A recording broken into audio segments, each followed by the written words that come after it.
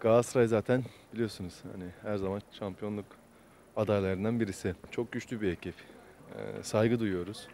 Yani bunu öncelikle belirtmem gerekiyor. Orada deplasmanda yenmiştik. Yani evimizde de neden olmasın diyoruz. Dediğim gibi güzel bir maç olacak. İki taraf için de yani keyifli bir e, maç bekleniyor diyebilirim. Bizim hedefimiz belli olduğu için her maça en azından puan almak için sahaya çıkıyoruz.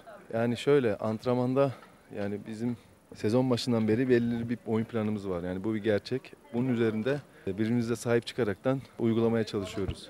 Yani maçlardan da görüldüğü gibi zaten adam eksik olsak bile yani 2-3 maçta galiba bildiğim kadarıyla bir maçın başına kırmızı kartla kart yediğimiz için maçı tamamlamak zorunda kaldık. Ona rağmen galibiyeti kaçırdık.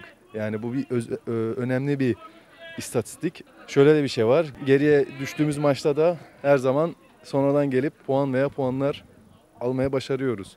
Yani bu da bir özel bir istatistik. Yani bu bizim birbirimize sahip çıkmamıza, birbirimize güvendiğimizi ortaya çıkarıyor. Dediğim gibi hedefimiz belli.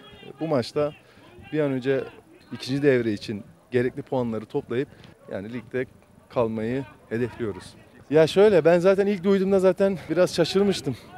Hani nasıl olur böyle bir şey diye. Ya üzüldüm de yani nasıl üzüldüm? Sonuçta burada biz de bir emek harcıyoruz. Yani hani şimdi şöyle e, saygısızlık yapmak istemiyorum ama hani ben acaba ne yapsam diye düşünüyordum. Yani empati kurmaya çalışıyordum. E gitsen bir dert milli takımına. Yani tamam özel maç ama sonuçta milli takım yani ülkenin için ülkeni temsil ediyorsun.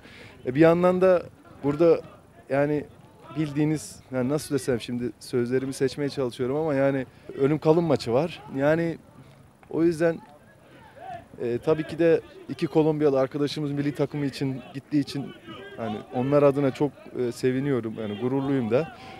Ama bir yandan da tabii üzüntülüyüm. Ama şöyle bir şey var. Yerine oynayacak arkadaşlarımız da ya bir fırsat doğdu.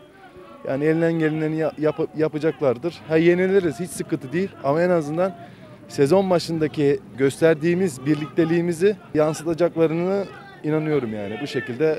Yani bakalım. Yani ne diyebilirim ki? Herkes için hayırlısı olsun yani. Bu şekilde. Milli takım milli takımdır. Yani bir şey de diyemeyiz yani saygı duymak lazım.